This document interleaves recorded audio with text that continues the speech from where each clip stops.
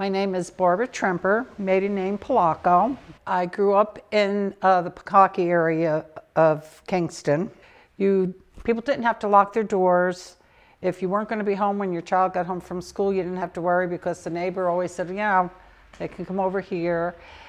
Um, practically the whole neighborhood belonged were parishioners of St. Mary's Parish. So, uh, of course, after Mass on Sunday, the next stop before going home would be Reher's Bakery to pick up a dozen hard rolls.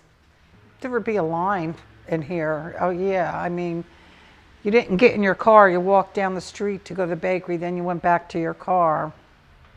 And I know different people that have asked for the recipe, they wouldn't give it out.